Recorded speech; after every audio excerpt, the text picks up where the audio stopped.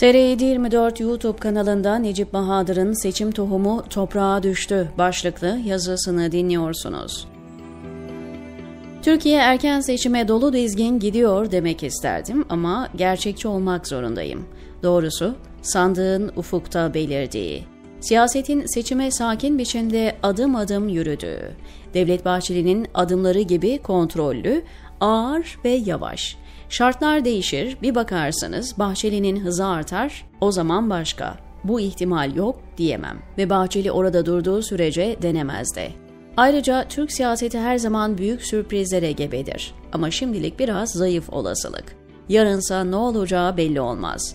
Siyaset gurusu politikada 24 saat uzundur diye boşuna söylememiş. Bugün olsa 24 saat demez 1 saat derdi. Devir değişti. Dünyanın dönüş hızı arttı. Hakkını teslim edelim Süleyman Demirel ne büyük politikacıymış. Toprak oldu gitti ama gün geçmiyor ki kendini hatırlatmasın. Türkiye'de sakin bir geceye yatıp fırtınalı sabaha uyanmak pekala mümkün. İşte o vakit ülke dolu dizgin sandığa koşar. Siz de farkında olmalısınız. Her erken seçim mesajı beni fena halde heyecanlandırıyor ve hemen işi gücü bırakıp klavyeye koşuyorum.'' Erken seçimle bu kadar ilgili olmam emin olun kişisel beklentilerimizden dolayı değil, her şeye rağmen Türkiye'yi ve Anadolu insanını düşündüğüm için. Yaşadığım onca kalp kırıklığı ve gönül yarılmasına rağmen memleket hala umurumda. Uzaklarda da olsam AKP iktidarının her gün hatta her saati ülkenin zararına yazdığını çok net görüyorum. AKP kaybederse Türkiye kazanacak. AKP sebep, mevcut tablo sonuç çünkü. Aynel yakin ispatı yapılmış bir formül bu. Erdoğan ülkeyi öyle kirletti ki ortamın iktidar değişikliği ve bir iki seçimle pisliklerinden arınması da olası değil. En az 3 seçim diyorum ben. Siyasetin bir çamaşır gibi sandıkla yıkanması lazım. O zaman da akpak bir çehreye kavuşmak garanti değil. Fakat umut var. AKP yazgısı olan tarihin çöplüğündeki yerini alırsa eğer en azından ülkenin üzerindeki kirlerin bir bölümü dökülür. Tam burada bütün renkler aynı hızla kirleniyordu. Birinciliği beyaza verdiler diyen şairi hatırlayalım. Keşke birincilik sadece beyazda olsa AKP maviyi de sarıyı da hatta siyahı bile kirletmeyi becerdi.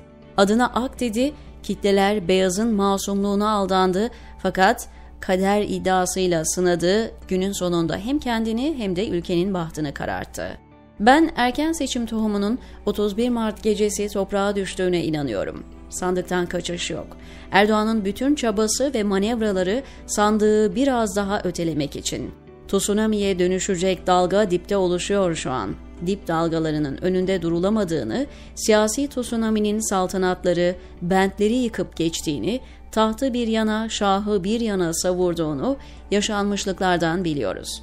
Ondan gayrı tahtı baht da kurtaramaz. Yakın tarih bunun örnekleriyle dolu. Nice iktidar kaybedeceğini bile bile erken seçime gitmek zorunda kaldı.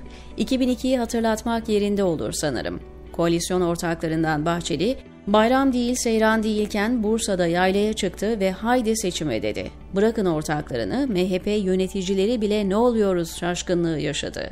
AKP de yeni kurulmuştu, teşkilatlarını tamamlamakla meşguldü. Türkiye, Ecevit ve Yılmaz'ın şaşkın bakışları altında paldır küldür seçime gitti. Sonuç malum. DSP, ANAP ve MHP baraj altında kaldı.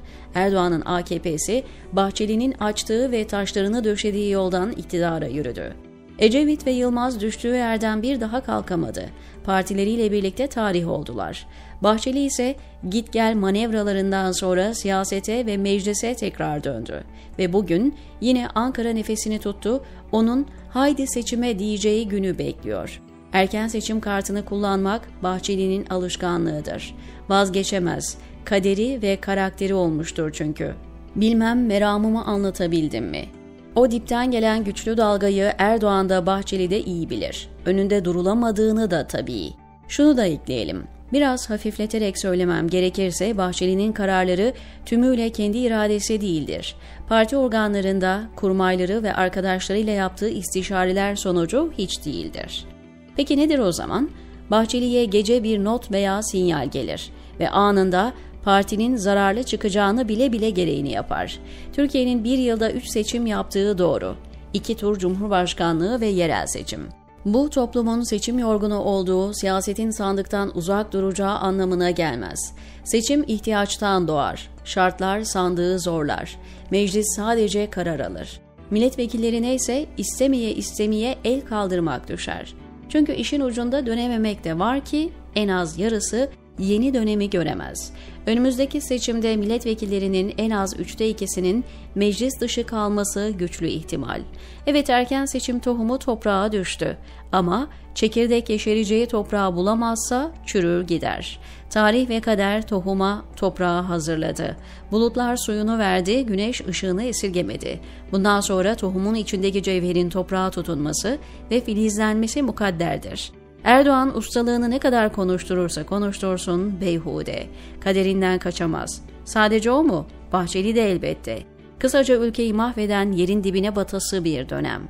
Dipte bir fay hattını andıran damarda enerjinin toplanmakta olduğunu söylememin sebebi bu. 31 Mart Erdoğan Bahçeli ortaklığını öyle bir vurdu ki adeta felç etti. İktidarın azaları işlemez durumda. Kalbin ritmi belli belirsiz son vuruşları atıyor. Ciğerler oksijen üretmekte yetersiz. Beynin ölümü başladı. Böyle mefluç bir siyasi yapının direnci olur mu?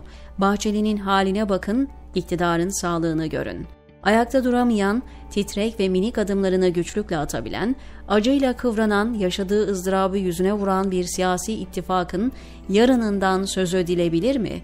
Ha, toplum bu mefluç yapıyı taşımakta beis görmez, ölüyü diriltmeye çalışırsa söylenecek tek söz kendi düşen ağlamaz olur.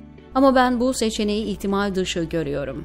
Yazıya otururken amacım MHP lideri Özgür Özel'in erken seçim mesajını yorumlamak içindi. Hiç ummadığım biçimde giriş faslı o kadar uzadı ki Özel'e yer ve zaman kalmadı. Planım bu değildi ama ne yapalım yazı kendini böyle yazdırdı. Eğer günden fırsat verirse Özel'in erken seçim çıkışı sonraki yazıya. Olmadı daha sonra.